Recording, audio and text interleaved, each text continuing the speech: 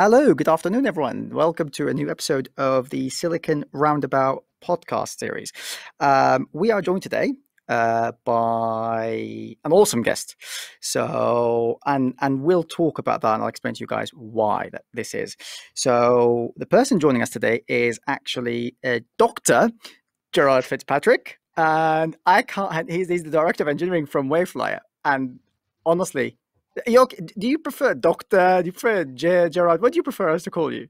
Literally, no one has ever called me doctor in my life. Ever since I got my PhD, it's one of the big disappointments about getting a PhD is that people don't tend to ever call you doctor. Have, have you tried to, to you know to sort of impose that? So, like, I'm a doctor. I'm a doctor. I have earned that title because I, I, mean, I, didn't see I, it in your profile on LinkedIn profile. I couldn't see it. So, I had I not gone through it, I wouldn't have possibly guessed. I mean, I, I have said it occasionally for for laughs, but um, not really ever in any kind of seriousness. Um, well, this is this is this is how it gets even more exciting. So, uh, Gerard hasn't actually just got a PhD. Let's let's. I'd like to talk about their profile first because you come from a physics background. Yeah, yeah. So my background is specifically in astrophysics. In astrophysics, okay. So you've and your PhD, and this is actually, guys, this is a mouthful, literally. So Gerard has got a PhD, a Doctor of Philosophy, in the studies of high energy atmospheric phenomena with the Fermi Gamma Ray Burst Monitor. I'm gonna just, you know, Break I have no idea. I, okay, I'll leave it to you. Please take, so, take the floor is yours, Gerard.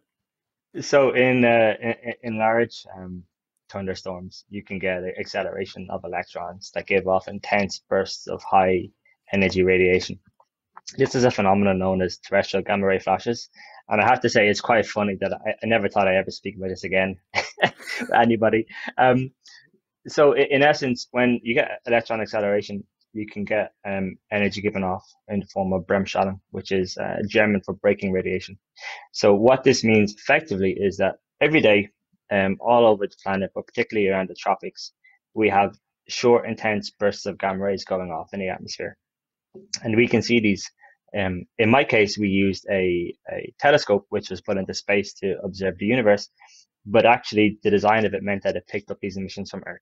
So I was doing space-based observations of terrestrial phenomena, and it's these are actually super interesting, um, like genuinely interesting. So what you get is an intense burst of uh, photons, which um, gamma ray um, energy photons in microseconds. So you might have like a, a time profile which might last anywhere from 50 to a couple hundred um, microseconds. So like far less than a millisecond, and like microsecond like is one millionth of a second. So in a like in a fraction of a fraction of a fraction of a second, you're getting so many high energy photons just flying through the atmosphere every day, and, and nobody knows really.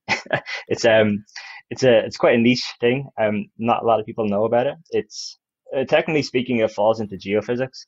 My background is in astrophysics, and when I was in university, I worked with the uh, Fermi team. So Fermi is a NASA satellite.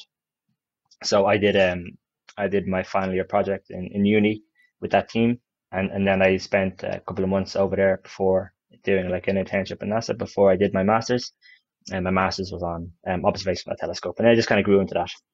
So you've basically touched upon that. Um, mm. The most interesting thing, probably here, and you've just casually touched upon it. You were in NASA.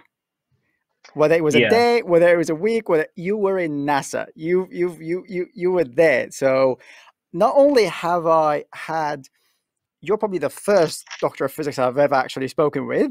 Hopefully, my younger brother, soon to be one, he's actually about to start that in the summer.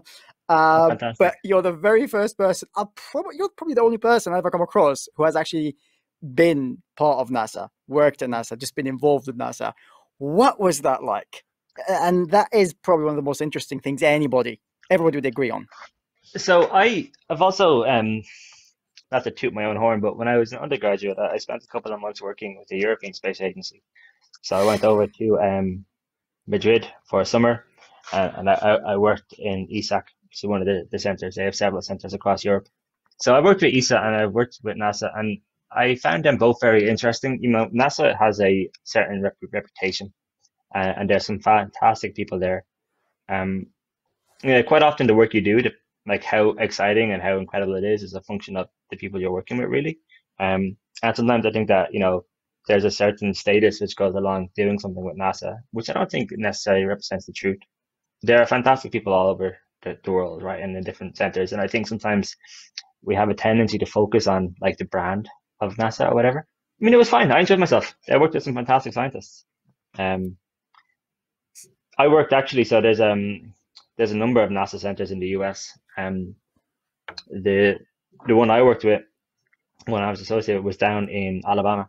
So not really, not many people know this. Is one of my favorite things about little bits of trivia I picked up. Um, there's a um, NASA center in Alabama, um, close to the really? border with Tennessee. Yeah, it's the uh, the Marshall Space Flight Center, and it's where they built the rockets that went to the moon.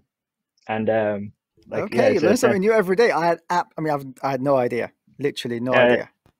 So um, that's where I, I spent um, in like at, a certain point, obviously, I, I moved away from this physics and I, I joined the real world and became. yeah, that was going to be the next point. As in, how, how do you go from literally a doctor of physics being a, space, literally astrophysics? You're studying space. Yeah. How does how how does the transition happen into tech?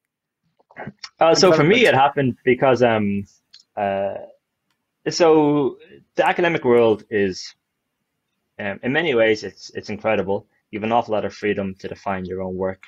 Um, you get a lot of like it can be quite fun to do research for the for the sake of research. There's something very freeing in that.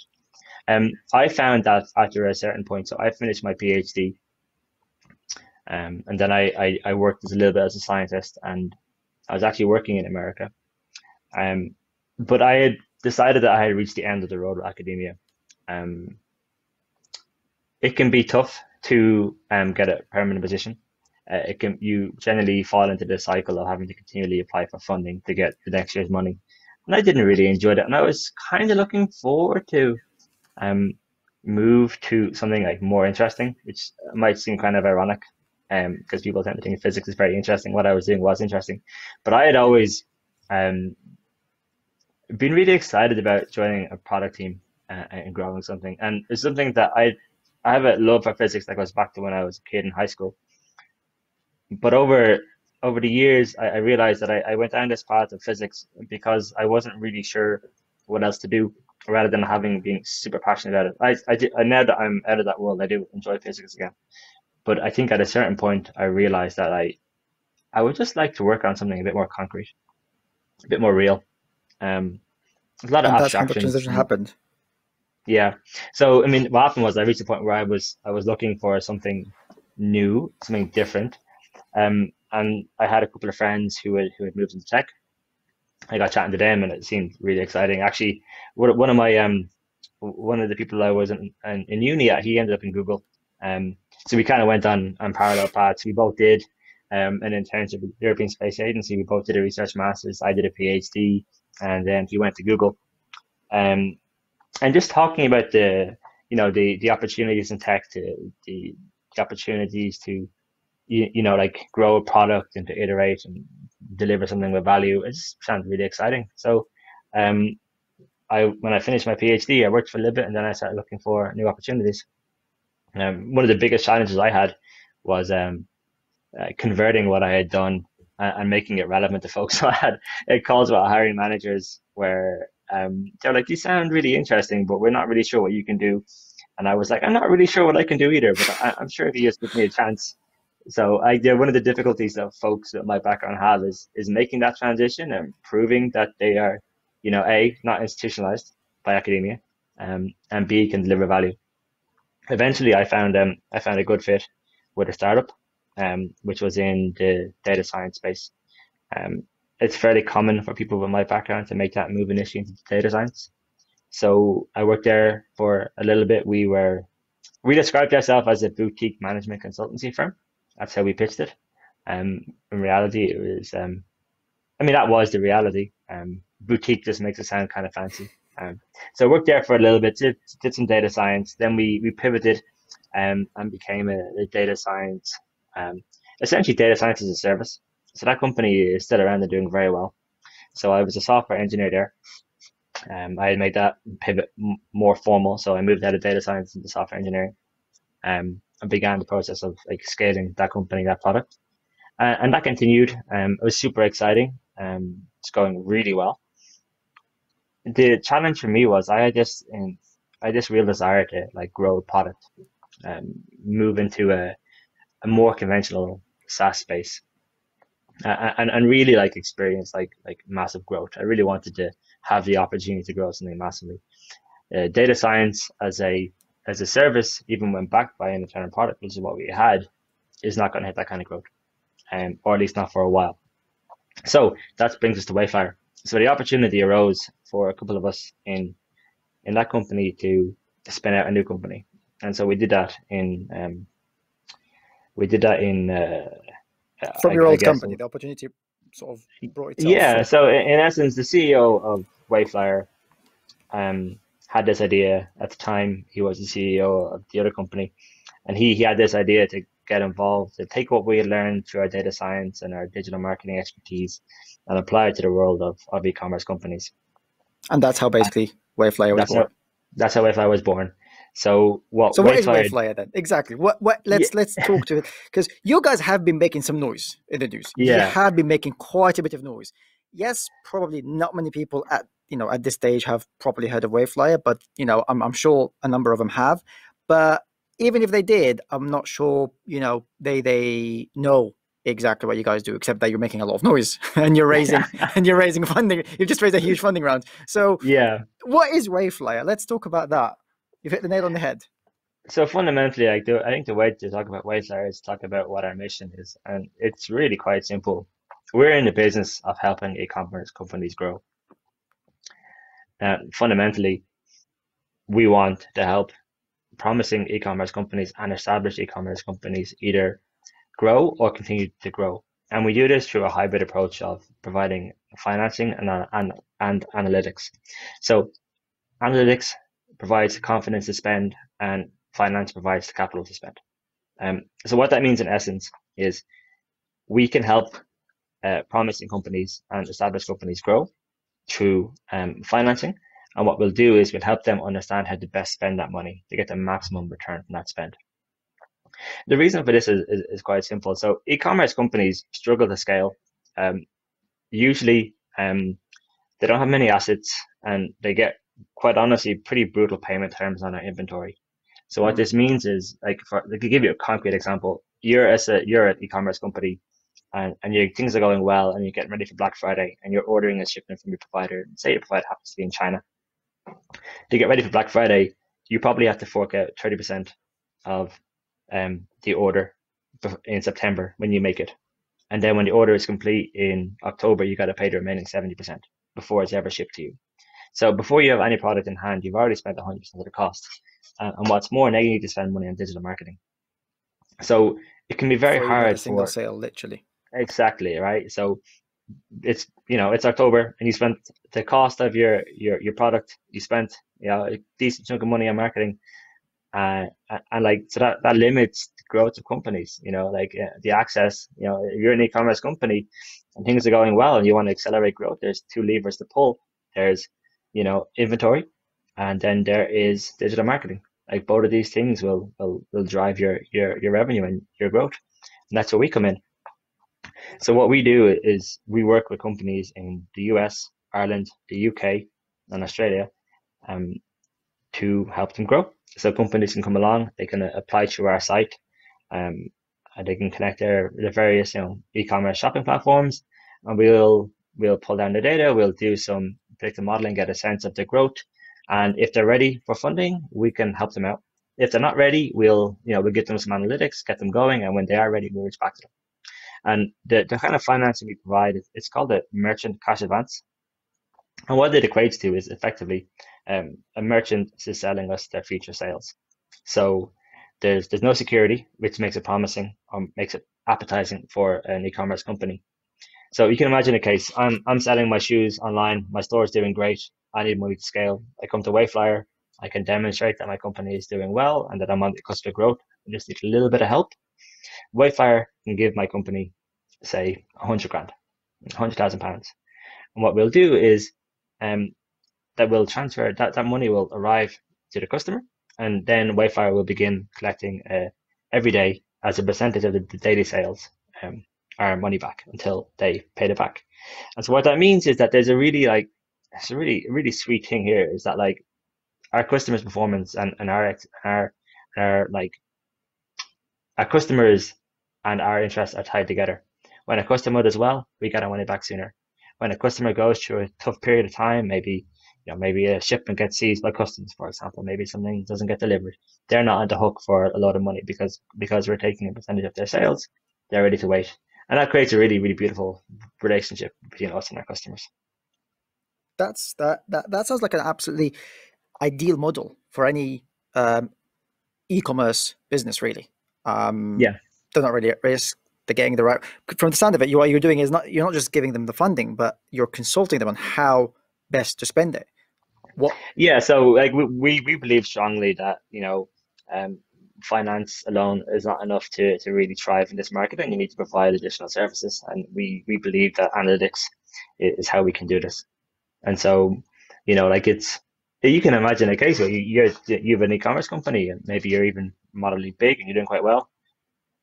A lot of companies are going to struggle to spend a large chunk of cash on digital marketing with, without any you know advice or guidance so, and so we believe like really strongly that like a hybrid approach of finance and analytics is how we'll succeed. And how do you? People will ask the first question. Mm. People ask, how do you help them financially? So, are you guys like a, a fund? Do you have? Where are you able to? You know, uh, how are you able to help them? That's that's I suppose a question. Yeah, so so we have access to a debt fund that, that we use in essence. So, so we you, so you have access to a fund, and then you always this is how you use that mm-hmm. the money to help out organizations who you determine are able to you know make that journey, take that loan, basically, but yeah, in a safe way. Uh, well, so what we do is we help companies that that promising companies with with growth via capital, in essence. And so you know the really key thing here is that like e-commerce companies of all sizes so we finance people who want ten thousand pounds up to those who want closer to ten million pounds. So like the financing that we give is a function of the size of the company. So we don't work with just small promising companies. We work companies of all sizes. And just to highlight, to double check here and highlight to the audience, you don't actually have, uh, or you don't take any ownership of that business, any shares or anything like that. No, no, there's, other, there's no equity requirements. There's no security. It's a, a chunk of cash that we collect until you pay back. Sounds like an absolutely, absolutely sweet, sweet, sweet, sweet deal, basically. I mean, it's it's you know it's it is what it is. Um, there are you know there are the the it's very very beneficial to founders of companies. You know, like so if you're a founder and you're looking to grow, like you probably don't want to give out equity in your company at an early stage if you're looking to grow. Of course. And you probably also don't want to take, like, you probably don't have the security to get a loan from a traditional bank. And so that's why you can come to us for financing. Sounds great. So, how you said the opportunity presented itself while you were with your previous employer, but mm. I don't think we've touched upon it. When did that actually happen? It's I think what's interesting here, what's so cool about Wayflyer is the rate at yeah. which things have happened. So, to put it into perspective, tell us about that. When did that actually happen, and sort of the journey from then till today, basically.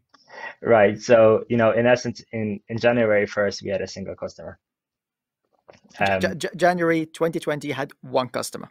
Yeah. Okay. So in January 2020, uh, you know, I think we were seven people. Um, and we had one customer and we had an idea and it seemed to have promise. Um, now we're at a point where I, I think I've actually lost count. I, I do believe the most recent headcount was 45 people working directly for Wayflyer, and we have hundreds of customers.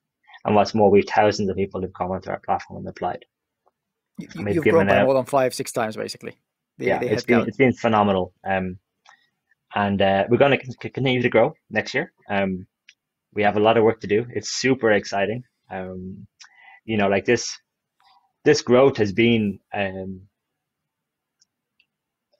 I mean, like, it's hard to express how exciting it is to grow. Crazy. That's how it is. It's, so it's, successful. It's out of this world. It's it's fantastic. It's just makes believe. You've just literally five six times you grew this just the headcount. We're just Yeah. discussing headcount itself, and then you went from one customer to hundreds, as they say, Mhm. in a span of less than twelve months, essentially. Exactly. Yeah, yeah. And of course, it's all happening in, in the backdrop of COVID nineteen um as well. So it's been Which is you know the biggest probably catastrophe, uh, financial catastrophe the the world has gone through since probably the Second World War. yeah, it's been it's been like phenomenal. Um, and and of course, so you know, for us, it was it's been a real journey. So you know, in February, we really decided to put our foot down and start to begin the process of scaling and growing and refining our product just in time for a global pandemic to roll across, you know, first, you know, the world. Um, and so for us, that was, you know, initially we weren't really too sure what, what the impact was going to be. And, you know, really, do we want to be trying to finance companies at this time and we're not sure what's going on? But we've actually found pretty quickly is that, you know, the demand for, for e-commerce actually rose. And so you can see the Shopify has done tremendous growth in the last 12 months as, as traditional brick and mortar stores try to move online as quickly as possible, try and tap into, you know, in essence, the changing demand. Um, uh, the the the size the Yeah. size of the market as well is just tremendously big. There are so many e-commerce companies out there who are who could be helped by by Fire. You know, so like I think the growth is only just beginning. I So- think I'm gonna have an equally busy year next year. Wi- Wayflyer today, okay, Mm. not just from a headcount perspective or from numbers of customers perspective, but as a company, as a product, as Mm. a service, how different is it now compared to January? Almost 12 months later. So it's completely different. I think in essence the core was there, and the, the core idea behind what we would do, which is that help identify promising companies and establish companies, and then help them grow. Like that's the core idea hasn't really changed. You know, when we started out, our mission was to help e-commerce companies grow, and along the way, we weren't sure what the balance would be between financing and, and, and analytics. And I think over time, what we've done is refine that you know the experience from a from a user point of view is completely different um but the core principle of the product hasn't really changed i think that's part of the reason we've had so much success that we just got a you know in essence got tremendous fit from a very early stage So it's been exciting. It's Mm. been incredible. But has it been without challenges? I mean, this is a, one of the biggest challenges humanity has faced, COVID. I mean, have you guys faced any? Um, well i mean there's or has um, it just been smooth sailing so far? I mean, I don't want to say it's been smooth sailing. It's been tremendous work and tremendous hard work from the whole company and everywhere, you know. So we've 45 plus incredibly talented people um, who work extremely hard to make this happen and uh, overcome tremendous challenges on a daily to weekly basis. Um, in terms of some of the, the big challenges that we're facing, um, really, um, you know, COVID is a challenge for anybody who's trying to grow a startup at this time. For us, turned to not be. It was, you know, initially it took us a bit of a while to understand what the impact would be, just like the rest of the world. But the fact that it drove more people online and created more e-commerce companies meant on some level that it wasn't that big a challenge for us. There's been some, you know, knock-on effects. There's of course now, you know, like our whole business is is based around identifying promising companies, and that's a lot more challenging because the behaviors are changing so rapidly.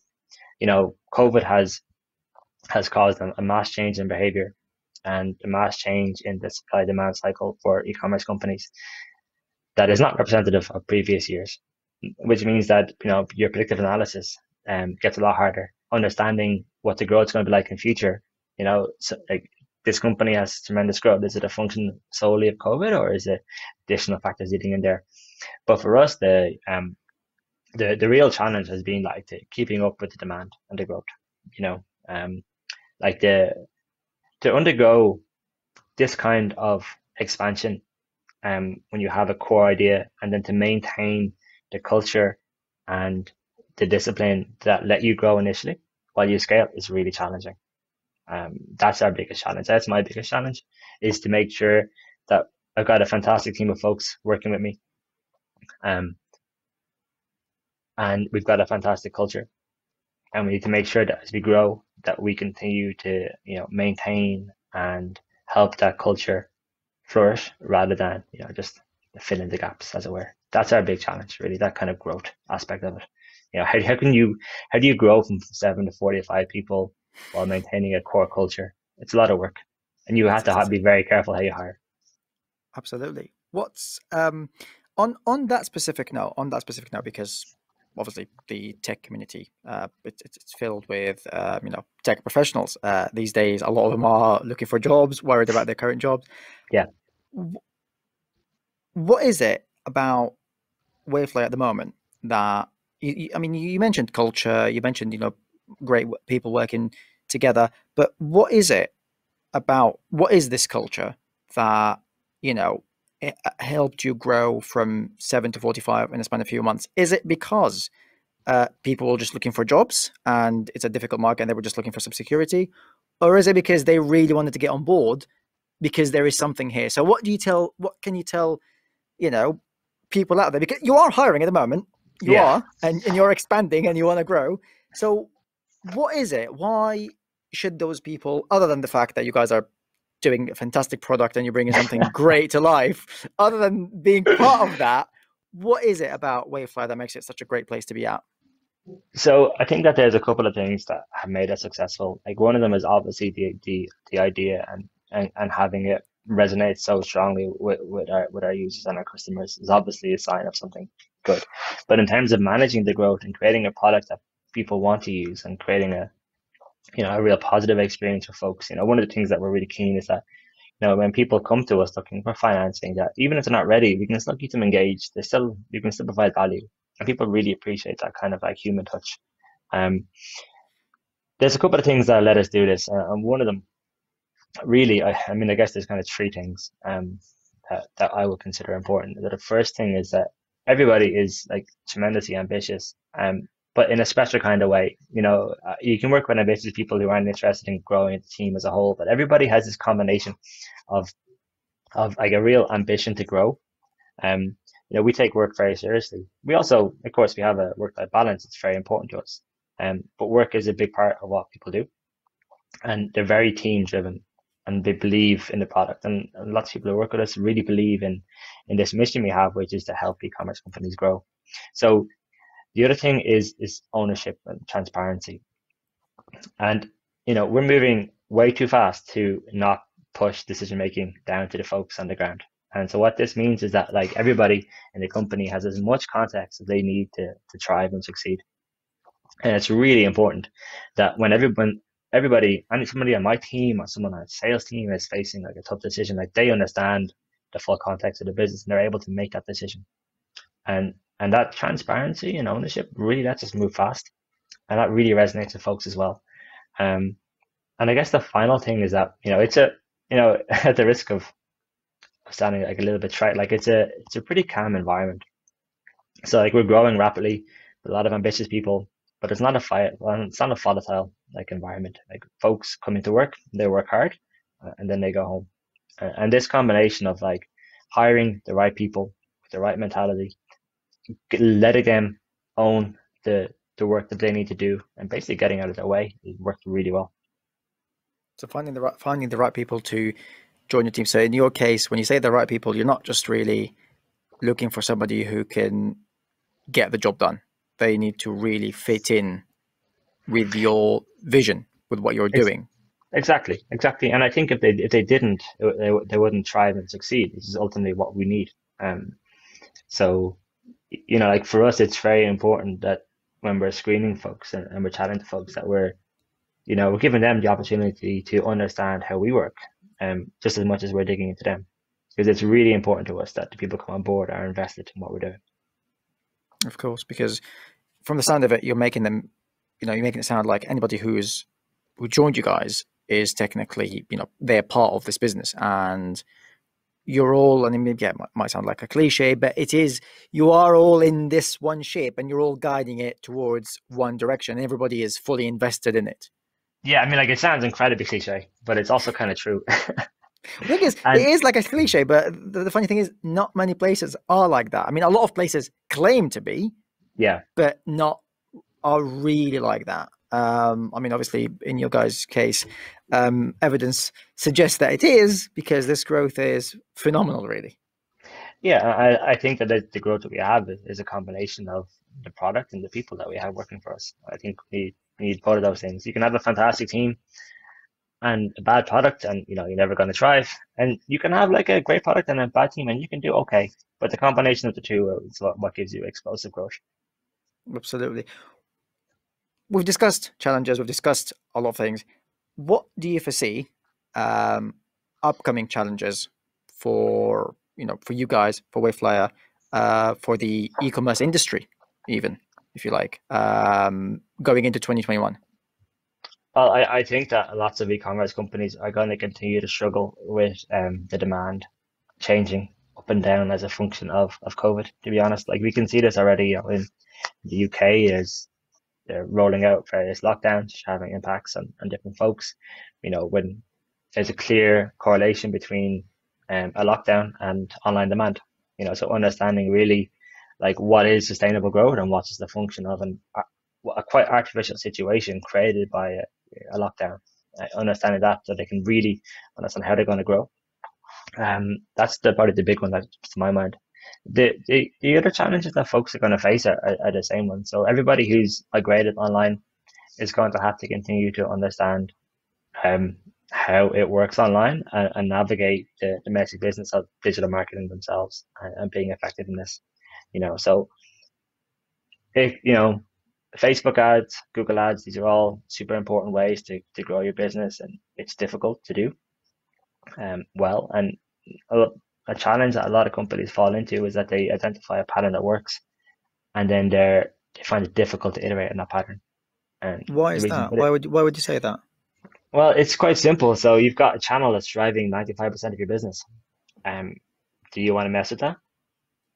And that's the situation that business owners find themselves in, where like they, you might have a company, which is you know all in on Facebook ads and it's driving tremendous business, but they're also very exposed, and they're not really comfortable. Like perhaps they don't have the expertise in house, perhaps they're working with an agency who are doing it for them, but aren't really you know iterating on it. It's a real challenge. Um,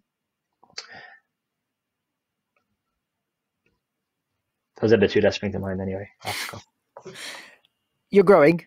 We know that. Mm-hmm. Just quickly then, before we before before really uh, sort of wrap up the podcast, what what um, what teams for you guys are growing at the moment, and obviously you as the director of engineering, Jay, what are you hiring within tech? Because this is probably the most relevant to our community.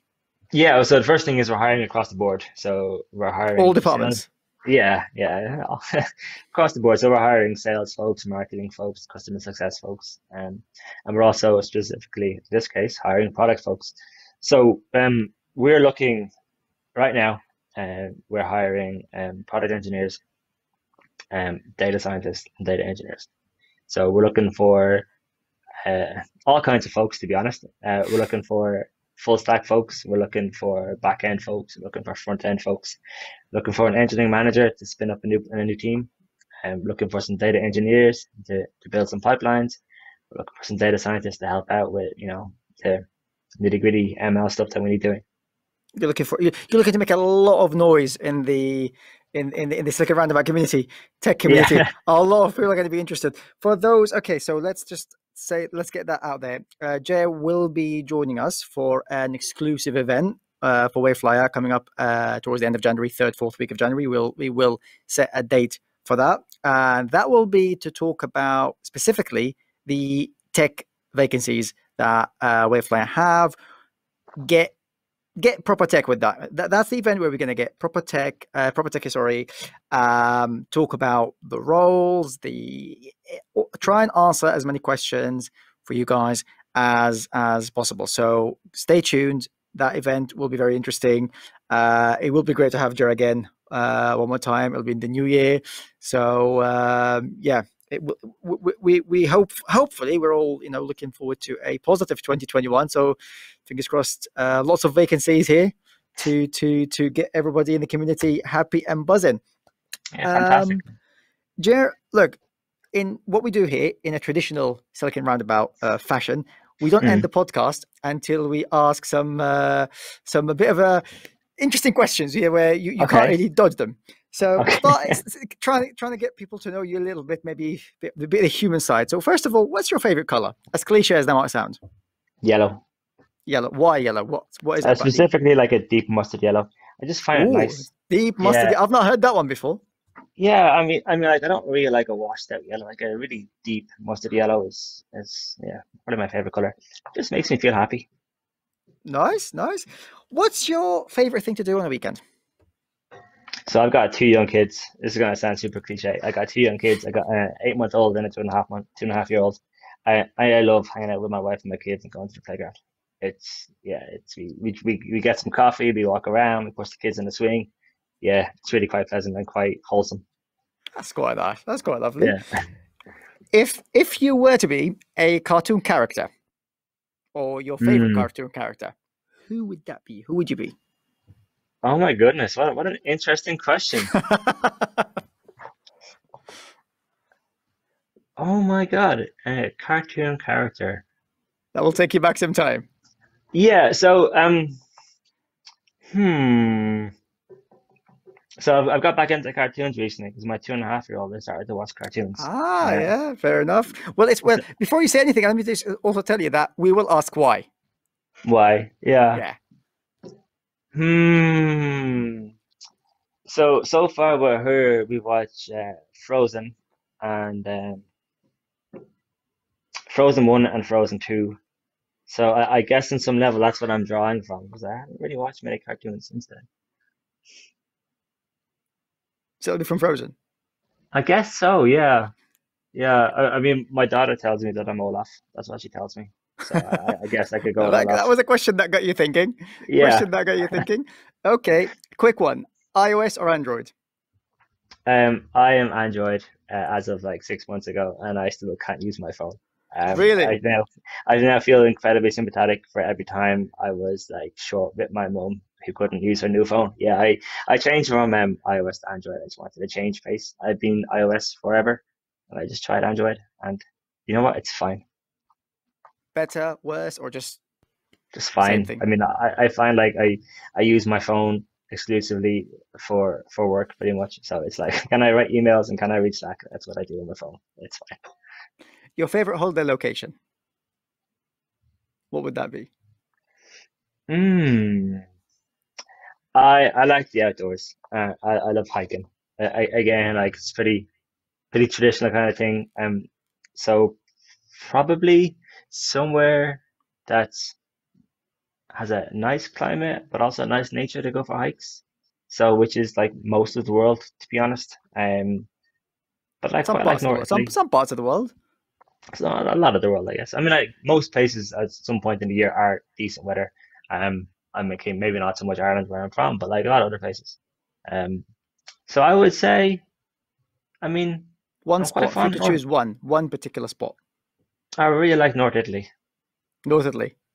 Yeah, I mean, they have fantastic food, they have fantastic wine, they have fantastic scenics. I've not been, but that's definitely on my list. I've heard that before. That's definitely on my list. The founder of Silicon Roundabout probably won't be too impressed, but if, if I, if I didn't say it definitely is because he's Francesco, he's Italian, so I can't get away with not saying that.